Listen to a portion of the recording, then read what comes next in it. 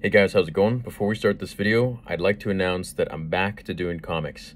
I know a lot of you are wondering, where the heck have you been? It's been like six to eight months. You haven't done any comics from the new canon stuff, the new Vader stuff, which I love doing.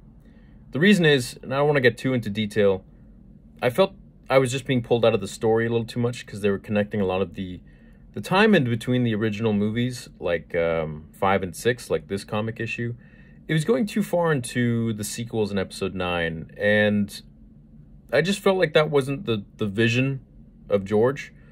Um, i know of course now it's different. It's a completely different story and you know this is the vision of star wars. It's not the vision of george lucas. But that's just how i interpret it. That's just how i see it. Whatever. Um, but you guys have been requesting it and i do miss covering these comics.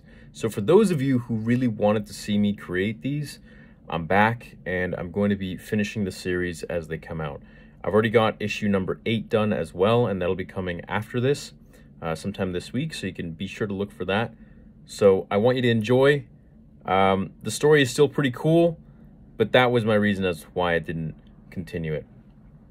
Hope you guys enjoy this comic and all the subsequent ones that will come after this. I love you. Catch you in a little bit, or right now.